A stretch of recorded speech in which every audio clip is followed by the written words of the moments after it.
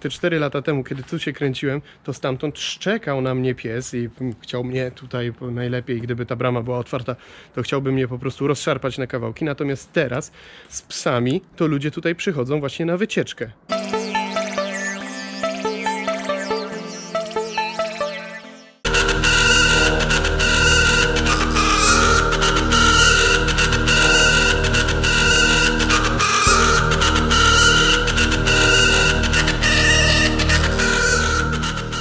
Po czterech latach wróciłem z kamerą w to miejsce, od którego zaczęła się moja przygoda z Widzę to tak, czyli oczywiście Szyb Franciszek, Ruda Śląska. Dalej biegną tory kolejowe, co zresztą bardzo dobrze słychać. Widzimy tutaj przepiękną wieżę, przynajmniej dla mnie to jest jedna z najpiękniejszych wież szybowych i to otoczenie, najpiękniejsze otoczenie wieży szybowej na Górnym Śląsku. Z tym, że była tu kiedyś kopalnia nie świadczy tylko wieża szybowa, bo musimy sobie uzmysłowić, że jesteśmy na terenie całego kompleksu kopalnianego. Jestem tutaj z kilku powodów. Oczywiście chciałem zobaczyć, co się tutaj zmieniło od tego czasu, chociaż przyznam e, się Wam, że już kilkukrotnie w tym okresie bez kamery tutaj byłem, więc jestem w miarę na bieżąco. Chciałem Wam e, co się zmieniło pod kątem tego, że zaczęli tutaj przychodzić też inni ludzie, a nie byłem tutaj sam jeden z kamerą, tak jak to było tak jak to było te kilka lat temu. I trzecia sprawa, oczywiście projekt Most the Most, e, no i pieniądze dla tego oto właśnie pana Franciszka. To wszystko w tym odcinku.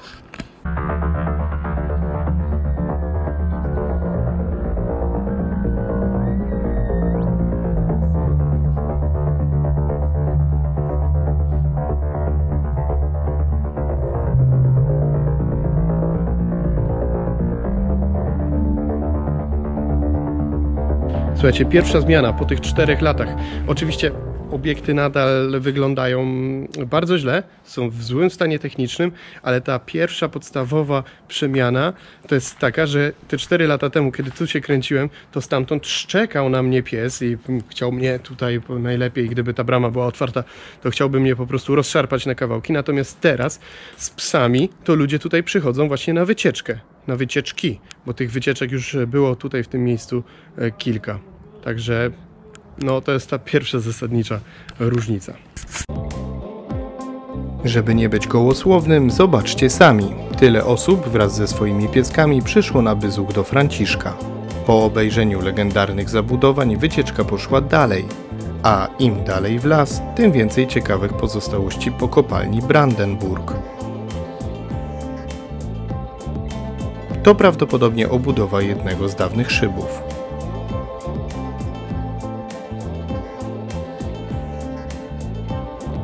Kawałek dalej, wzdłuż torów, znajdują się pozostałości zakładowej kuźni. Miejsce, gdzie najpewniej znajdowało się palenisko, widać do dziś. A jeśli interesują Was takie klimaty, to w pobliżu jest jeszcze to.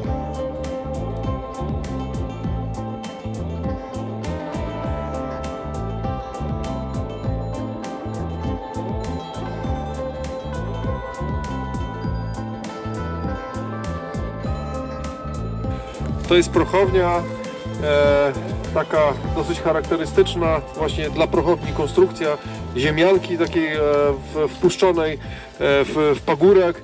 Też jakby no ta konstrukcja i, i tego rodzaju posadowienie no też miało być dodatkowym zabezpieczeniem no przed jakimś ewentualnie eksplozją, która tam materiałów e, w niej przechowywanych mogła nastąpić. Zresztą nie wiadomo, czy coś takiego się tutaj nie odbyło, bo jak spojrzycie na tą rysę, która e, jest e, w murze, to to jest rysa, która przebiega przez całe sklepienie wewnątrz. Teren za Franciszkiem to w ogóle ciekawa sprawa. Jeśli kopniecie tam w jakikolwiek kamień, to możecie być pewni, że nie znalazł się tam przypadkowo. Obszar tej prastarej kopalni to świetne miejsce do uprawiania tzw. archeologii industrialnej, czyli odkrywania jak pracowali tu ludzie 100 czy 200 lat temu i jak bardzo zmienił się przez to krajobraz. Bo chociaż teren wygląda na naturalny leśny zakątek, to tak naprawdę chodzimy po ziemi przeoranej kilofami, łopatami i kołami wozów, a wspinamy się po pagórkach, które są hałdami pamiętającymi Karola Godulę. Jest jeszcze przynajmniej kilka powodów, dla których te obiekty i przylegający do nich obszar są wyjątkowe i o tym usłyszycie już za chwilę. Zresztą e, przez te wszystkie lata tysiące górników e, tutaj e, pracowało. Tu się toczyło też życie społeczne dzielnicy, bo patrzę w tej chwili na pozostałości po budynku cechowni, w których próby miała słynna orkiestra Augustyna Kozioła. E, Była taka piękna fontanna, też tutaj z muzykantami, teraz ją w Zabrzu Państwo możecie oglądać, może tu kiedyś wróci, kto wie. E, Także to jest bardzo ważne, e, bardzo ważne miejsce dla takiej historii społecznej, kulturowej, e, miejsce symbol, bo pozostałość e, w prostej linii po najstarszej kopalni węgla kamiennego na terenie dzisiejszej Polski, czyli kopalni Brandenburg, kopalni, która była wizytowana przez Johanna Wolfganga Goethego. E, Zupełnie niesamowita historia pierwszej kopalni, która została oficjalnie nadana e, na nowym prawie górniczym e, w, w 1770 e, roku. E, No więc jakby Ruda nie przypadkiem do dzisiaj jest e, największą gminą górniczą e, w, w, w, w, kraju e, i kolebką górnictwa węglowego, a tą kolebkę mam tak naprawdę e, za plecami, więc poza tym, że to świetna architektura, że obiekty, które już w latach 80. zostały wpisane jako zabytki techniki do Wojewódzkiego Rejestru Zabytków, kiedy jeszcze nikt taką kategorią zabytku techniki się nie posługiwał, no to są wszystko świadectwa tego, że, że mamy obiekt e, cenny, piękny, wartościowy, historyczny, społeczny i musimy o niego dbać. Pomimo jesiennej szarości, jakiś czas temu dla tych obiektów zaświeciło słońce.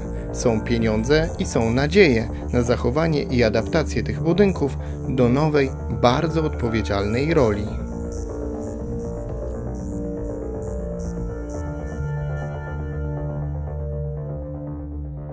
Fundacja e, Most the Most organizuje taki konkurs, e, w którym e, jeden zabytek z województwa może wygrać milion złotych na dostosowanie go do nowych funkcji.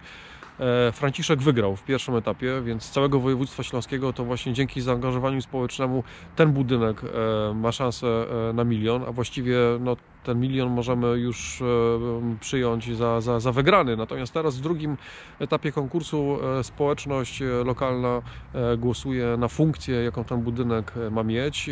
Jednym z pomysłów to Centrum Edukacji Regionalnej, takie, w którym będziemy pielęgnować pamięć głównie o dziedzictwie niematerialnym Górnego Śląska, czyli o Gotce, o orkiestrach dętych, czyli w ogóle o tradycji muzykowania, e, o stroju śląskim, o różnych aktywnościach sp- spędzania e, czasu wolnego, o obrzędowości, o barburce. No nie wyobrażam sobie, gdzie można by lepiej opowiadać o barburce niż w tak pięknym obiekcie pogórniczym. A kto wie, może kiedyś orkiestra dęta, jakaś dziecięca, młodzieżowa, która właśnie w Centrum Edukacji nauczy się e, grać na instrumentach dętych, przejdzie znowu 4 grudnia przez Rudę i obudzi mieszkańców e, Rudy tradycyjnym barburkowym. Link do strony projektu i głosowania znajdziecie w opisie tego filmu.